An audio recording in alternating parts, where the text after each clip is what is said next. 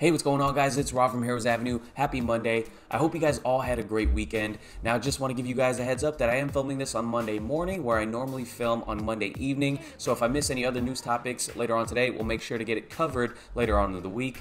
And that's just due to a, uh, a one day work uh, change, work schedule change. So, um, one more quick announcement before we get into the main topic today, which is the Flash. I do want to announce our first giveaway, which is going to be taking place throughout the week. We have a few tickets to give away to some Bay Area followers. So if you guys are from the Bay Area, some of you guys already let me know, but I want you guys to let us know this week in the comment sections.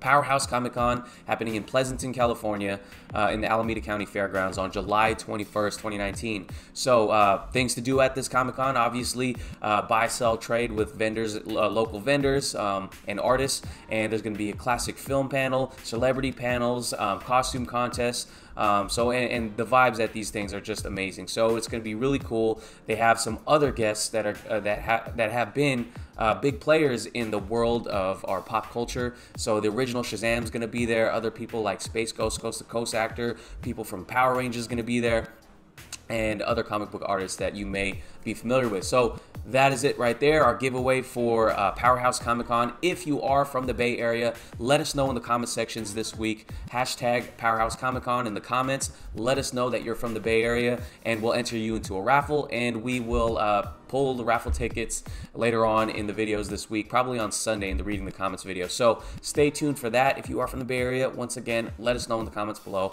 We'll enter you into the raffle. Okay, with that being said, let's go ahead and move on to the topic for today. It has to do with Ezra Miller as the Flash. Now, we reported in previous videos that um, Ezra Miller was going to be uh, potentially he was going to be making a script uh, for the Flash movie with uh, uh, famous writer Grant Morrison, and this is because he wasn't very pleased with the script that um, John Francis Daley and Jonathan Goldstein uh, uh, created for this movie Flash. Now, Warner Brothers has been said to favor John Francis Daley and Jonathan Goldstein's script. Um, but because Ezra Miller, I guess, has some pull with the studio, you know, he is involved in the Fantastic Beast franchise, uh, they're allowing him to make his own pitch. And if that pitch doesn't satisfy Warner Brothers, uh, it was likely that Ezra Miller was going to leave the project um, because his contract apparently has ended. Um, so, now, so we haven't got any real solid news since then, but uh, a more notable trade in Variety just posted this. Now, it is Pride Month, um, a month celebrating uh, the contributions of the LGBTQ community to the world. Now, they did this uh, Power of Pride list 2019. Ezra Miller was on there, and as you can see, it says uh, Ezra Miller says moving fast. Miller, who plays the ultra swift superhero The Flash, will get his DC Universe standalone film as soon as he wraps up his work on the Harry Potter spin off series Fantastic Beasts. The queer and gender fluid star is somehow even more in demand on the red carpet than in studio casting sessions with his avant garde looks, earning praise and astonishment from fans. So, there you have it. This is Variety a, a, pretty reliable source when it comes to news. So um, now this got a lot of people excited. This news came out after my Friday video. I had already uh, filmed it and, and, edited and posted it, um, but this came out on Friday. Now it's gotten a lot of people excited on the internet since then. But I do want to uh, give you my thoughts on this. While Variety is a very uh, um, reliable trade, and uh, they've they've broke they've broken a ton of uh, stories before.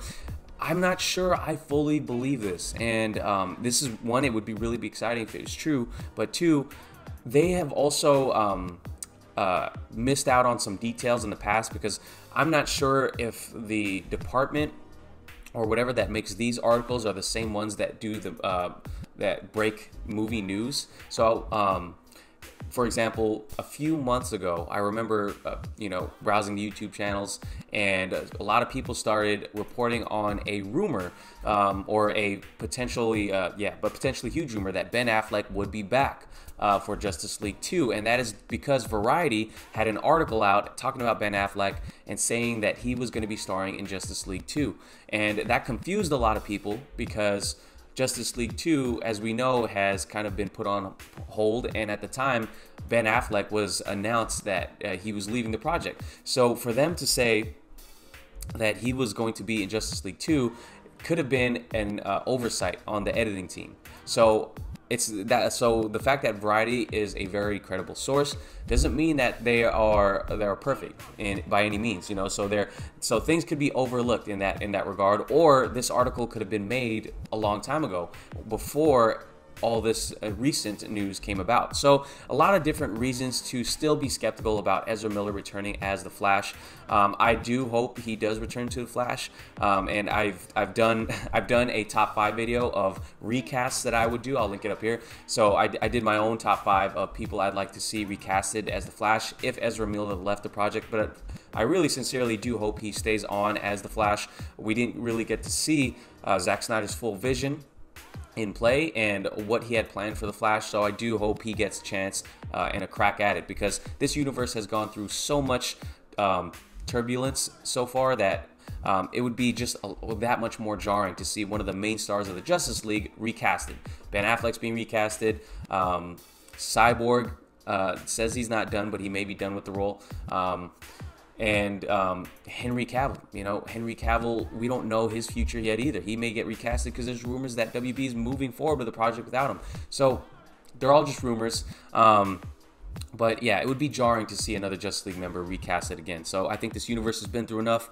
I think uh, Ezra Miller has proven he, he's a he's a good actor. Now, whether you think he's the Barry Allen from the comics or not, he's the Barry Allen that we got on screen. So I'm you know I'm able to separate that um, and and just see where this this takes us. And um, now let's assume that this is true. If this is true, the question is, is uh, WB pleased with the script that he and Grant Morrison worked on, or are they gonna or did he uh, concede and say, okay, I'll just work with uh, John Francis Daley and Jonathan Goldstein's script instead. So a lot of questions to be had here with this variety.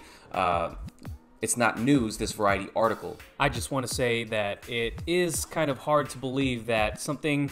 Uh, something as big as this, news as big as this, would be buried in a little tiny article in which you can click through really fast.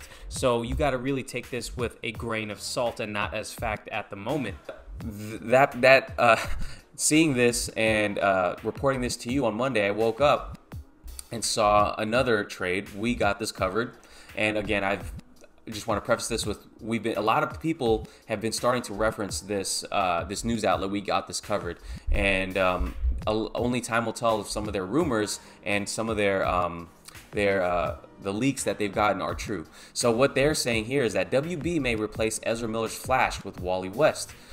so um, let me just go ahead and read part of the article here for you. So it says, This apparently something that Warner Brothers are considering. We got this covered. It's been informed by our source that the studios entertained the idea of introducing Wally West into the DCEU to replace Miller's Barry Allen. We have to stress that this is just an idea right now, and while there's a chance it could happen, it's too early to say for sure. For sure.